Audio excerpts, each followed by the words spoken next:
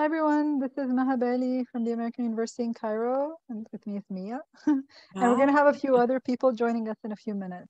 Um, but what we're doing right now is an activity that I learned from Stephen Covey's book, First Things First. And the book is um, is about setting like sort not just time management, but life management. Mm-hmm. And the key activity starts like this. You start by imagining your life. It's an individual activity, individual reflection, really uh, you start with imagining your life and your 80th birthday or your funeral and what people, if everyone around you who's lived your life with you is there and able to talk about how you lived your life, what would you want them to be saying? And mm-hmm. with undergraduate students, I prefer to use the 80th birthday. I don't want to talk about funerals, but I think with adults, funerals would be really, really impactful as well. Mm-hmm. And the way the way he divides all this thinking, so it's it's called live, love, learn, and leave a legacy. And so you think about your life and how did you live? You know, when you're 80, how do you want to be remembered for having living your life? What kind of relationships and love did you have in your social life? What did you learn? And what kind of legacy did you leave behind? Um, and when you think about all of these four mm. things, then you use these to help you write your mission in life. And so the the idea of it is thinking about living and what your physical health what you're eating and what how you're taking care of your body um, and your health in general. And then the loving what kind of relationships do you prioritize? And the mm-hmm. learning what do you want to be learning throughout your life? And the leave a legacy i was saying um, in islam uh, there are three broad ways you can leave a legacy. One of them is with your children after you die your children are your legacy.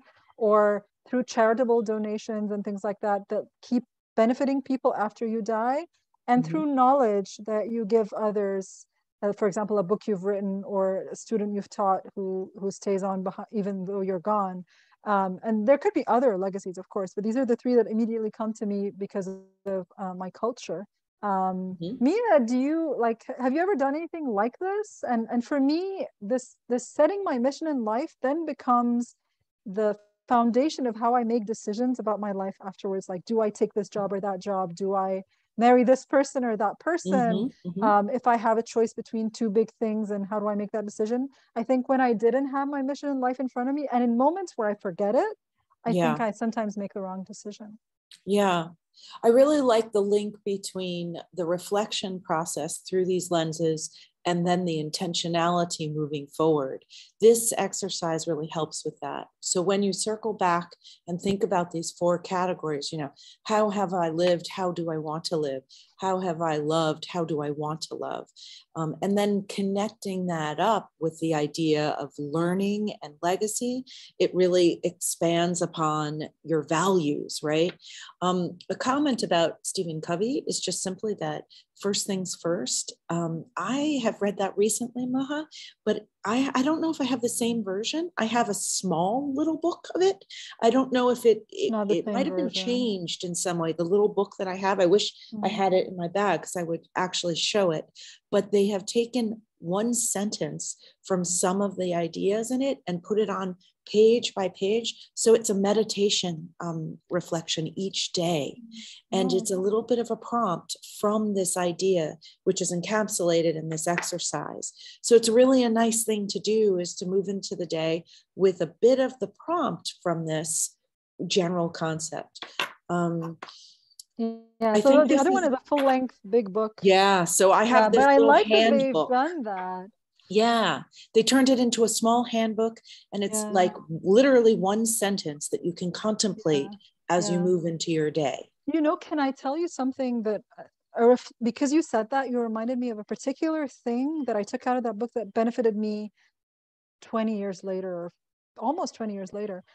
Is he talks about early motherhood and the work life mm-hmm. balance type of thing and yeah. he talks about how you don't always need to be in equilibrium or, or your equilibrium isn't always the same balance and so yeah. when you have a young child you are the only a lot of times the main person that that child relies on mm-hmm. and it's mm-hmm. not the time to worry about what's happening with your career or with anything else mm-hmm. mm-hmm. um, and that's okay and that was really important to me like i took it's possible in egypt to take a lot of years of maternity leave so i took almost my two full years of maternity leave Um, the first year, I totally focused on just my child. And the second year, I finished my PhD uh, thesis while taking care of my child and not going back to work. Mm-hmm. Um, and that feeling okay about that. Because a lot of yes, times you have the FOMO. You the of, oh my God, yes. to, to be okay with yeah. um, that you can do everything, but not at the same time yeah. kind of like yeah, wisdom, not necessarily right? exactly. Yeah. yeah. Or maybe there's a time for this and there's a time for that, and that's okay. You know, there's a lot of um, nuggets of um, life wisdom that go into the work. I mean, meaning Stephen Covey's first things first, but the live, love, learn, leave a legacy paradigm, I think, really helps in being clear about what your intentions are for your life as you said, like a mission statement. And then you can literally use it like a litmus test to the decisions you're in in the moment when you feel confused. It yeah. helps like clarify the compass of your heart and your values and your soul, right? Um, yeah. And we all, you know, do these, we all configure what we want in our lives differently, and that's all good.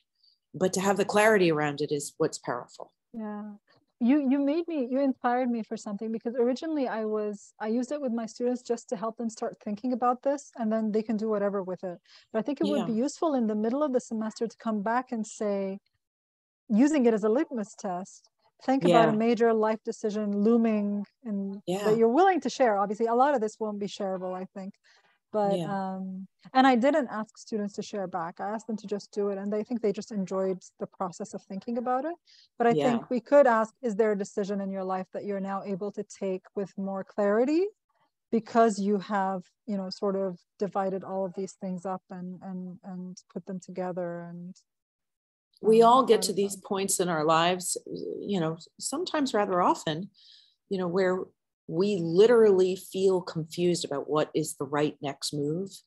And when you, I think when we are in that place, it's better to step back and be reflective. And this kind of paradigm helps us see ourselves, our true selves, so that we can navigate those confusing times. I need to do this exercise again, actually. yeah, I think I do too. And that's what's cool about it is like, you know, it's never it's it's never stale it's never already done or yeah. because life itself is a growth it's like a journey and a growth process yeah. an ever evolving so it applies always this Definitely. taking account taking stock Definitely. and then yeah. applying it again to like the forks in the road of life yeah especially with big um, life decisions like ch- having children or children growing or elderly parents and and yeah. Yep. so i'm gonna i'm gonna pause the recording until a few other people are done with uh, doing the exercise and Great. i'll call them back and we'll continue the recording. Oh no. All right. So Alan, Cheryl, and Shahnaz have um, had some time to sort of think through this exercise. Just 10 minutes. I think if with undergraduates, you could give them more time, but with adults, you know, we think so fast. but obviously, you know, just preliminary reflections. And so I'd love to hear what thoughts you have on this exercise, if there's anything that either popped out for you, or if you have thoughts on how this could be used in a classroom context.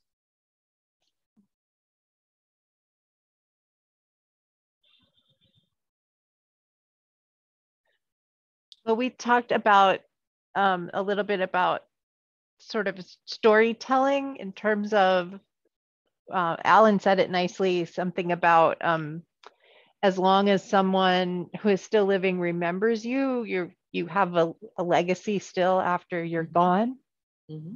which was really lovely. And I I was had been thinking along those lines those lines as well, where um, our stories sort of ripple out and interact with other people's stories and they keep going and they keep going. Mm-hmm. So we thought about that a little bit, but I'll let somebody else speak also about what we talked about.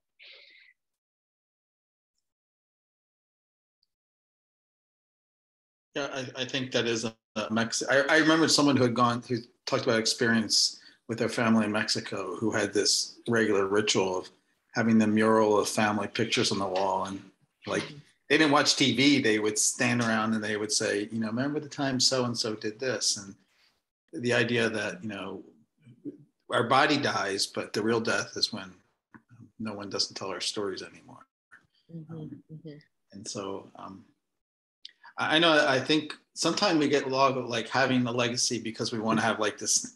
It's not the desire to have this legacy to be a monument or to be important. Um, and so um, I I kind of turn around to think about like who are the people who left legacies for me, and so mm-hmm. and what has that meant, um, and sort of that could be a driving thing. And then we had a little bit of discussion about like, can you really del- deliberately and say this is the legacy I want, and then act on that, or does it kind of emerge constantly because we go through so That's many changes?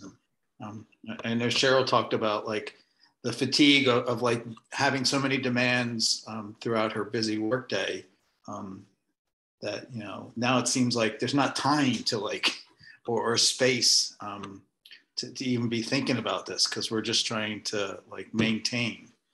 Um, and so and that's why she was appreciative for for this opportunity because she can say to coworkers, "I'm in PD right now," but she's there, which is important. And so, and then we got distracted because Cheryl and I know each other, and we haven't chatted a long time. okay.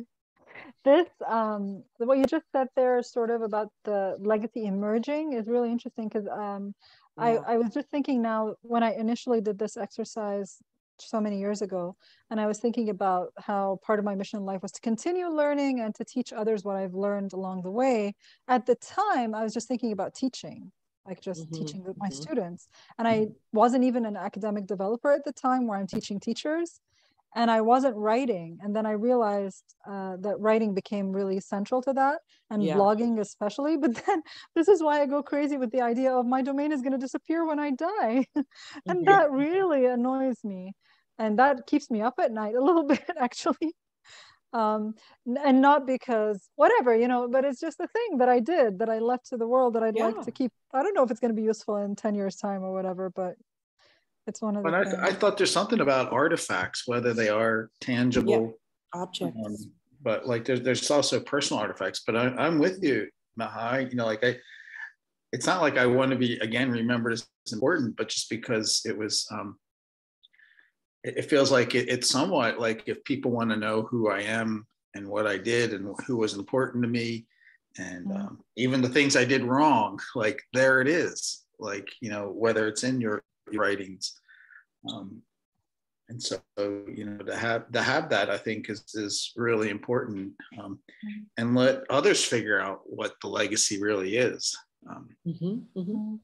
Cheryl, you said something in the chat about how you might use this with students, which I think would be useful for others watching the video.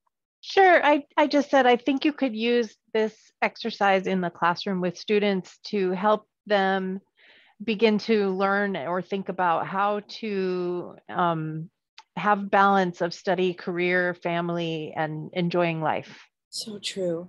And I think that this is desperately needed now. I think that there's a heightened sensitivity around um, finding meaning in life, finding balance in life, and struggling tremendously. But also, the hope is in the being able to admit that in a way that I don't feel was as much the case some years back. So I think there's an opening, is what I'm trying to say, even though there's also some um, serious pain that's bring, being brought mm. forth uh, due to failing systems and um, mm. you know yeah yeah just I, a Actually, failing systems thinking, is too broad but thinking about this yeah. and and um, thinking about covid and remember when i used yeah. to say uh, staying away from elderly family to protect their health but mm-hmm. they could die from depression and from loneliness yeah, and that yeah you're you're prioritizing the live over the love sometimes to do things mm-hmm. And maybe maybe there was something wrong with that or mm-hmm. figuring out how do you do the love differently because of the covid context mm-hmm. was important and then now that things are changing what do you need to change again yeah uh, in that context shahinaz i i want to ask you because you teach environmental right environment type courses and chemistry and would I know this is a difficult question to ask. Is there any way that you could use something like this in your own classes? It's a little bit difficult to use such a thing in these mm. classes, but usually I try to not to be uh, that. Of course, they have to take whatever I should give them, but also I try to be uh, open to other things. It is not just like this. Uh, whenever I find an opportunity, I go through it, mm. but it is a little bit uh, yeah. Difficult.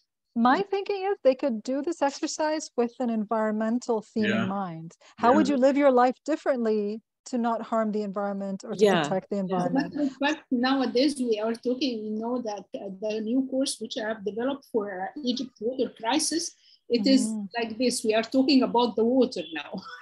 yeah. Right. And how could we live without it or water? Yeah. How what is the harm is coming to us and how to yeah. not to be harmed. Yeah. Yeah. That's great. And, and it's and and they have also to care about the farmers they have to care exactly. about so yeah. many yeah people, people they, they don't normally care about people not in their immediate one of the other things stephen covey talks about is your circle of influence and your circle of control mm-hmm. You can control your own life maybe you're within your nuclear family but you may have a circle of influence outside of that. And then there's i think a circle of something else that you're interested but you can't do anything about it. But the circle of influence is a really interesting thing is you can't control it but maybe you have uh, power in in some way to be heard. Like you're a journalist and you can write about it or you're you're the manager of something and you can talk to others. So i'm gonna i'm gonna close the breakout rooms and close the recording. Thank you all so much for for this recording